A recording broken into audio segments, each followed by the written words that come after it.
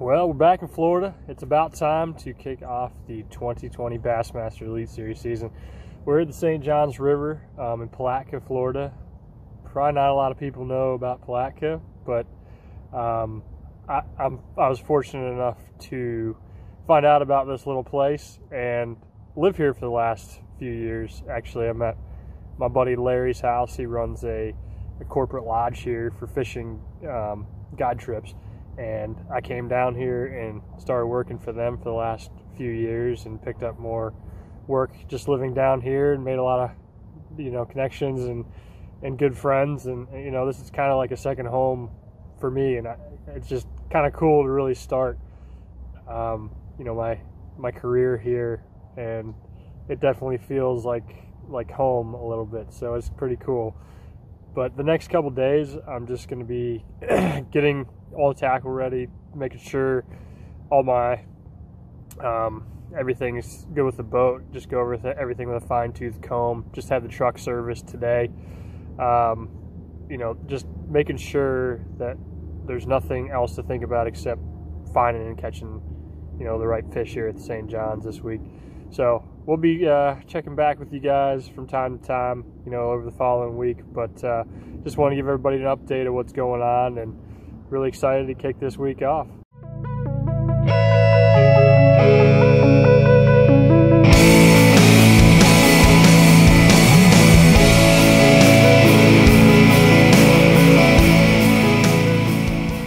Hey, buddy. Hey, Lunker. There's a lot of work behind the scenes that goes into preparing for a big tournament. One thing I really like to do is get my live wells really cleaned out and ready to go. You definitely don't want to kill any fish get all my tackle tip top, check all my knots, check all my reels and the drag. Got to see some of the wildlife, no iguanas falling out of trees, thankfully. And then we were ready to kick off the first Bassmaster Elite Series tournament practice. You know, practice has been pretty tough so far. I've kind of been a little bullheaded, I feel, but you know, I just made a little adjustment and was rewarded pretty quick being at St. John's again was definitely like a comfort factor for me. Having been there for a couple years prior. You know, the one good thing about an experience is knowing your way around, feeling comfortable. But another negative to that is also feeling real comfortable.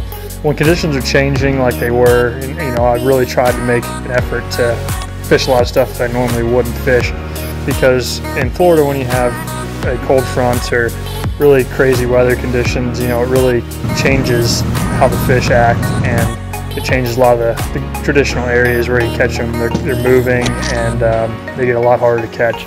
You know, that was something that I really wanted to prepare for in practice. You know, I looked looked at a lot of different things, um, cover a ton of ground, and put myself in the best position to, you know, do the best I could.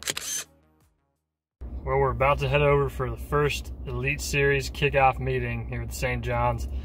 Um, definitely excited for this one. Um, not, not that the fishing is tremendous or anything. It's kind of tough right now, but I'm just really excited to start a new chapter here. It's a cool, cool adventure. I'm really grateful for being able to do this. So, I mean, I, I can't, still, it doesn't even seem real. Like, it's pretty crazy but uh, I'm gonna go do my best tomorrow. I mean, it's gonna be pretty windy. It's gonna definitely be warm, so that should be a good thing.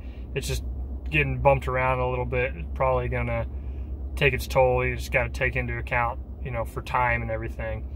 But I'm excited to kick this one off. Going to the Elite Series, first Elite Series meeting was really a lot different than the Opens. There was a lot more media buzz around it, a little bit different situation, you know, checking boat wraps and doing a lot of drone shots and TV profiles and stuff. It was a really cool experience. The official meeting really made it real. And I was a little bit nervous, you know, the night before, but kind of all the jitters went away by the time I went to bed. I was ready to go back and do what I love to do. Well, it's the night before our first Bassmaster Elite Series event. It's been a day full of meetings, um, media stuff. It's been been quite a full day, rigging all my stuff, making sure everything's tip top for tomorrow. I'm keeping it very simple tomorrow. I'm pretty committed to what I'm doing. Um, I am going to be bed fishing probably all day, depending on how things go. The wind is going to dictate kind of where I'm able to get into and um, also boat pressure. It's going to also dictate kind of where I'm able to fish. But I'm an early boat draw tomorrow. I'm really excited about that. This is a perfect situation, especially having a late boat on Friday because I think it's going to get much more challenging than it already is on Friday because of the big temperature swing.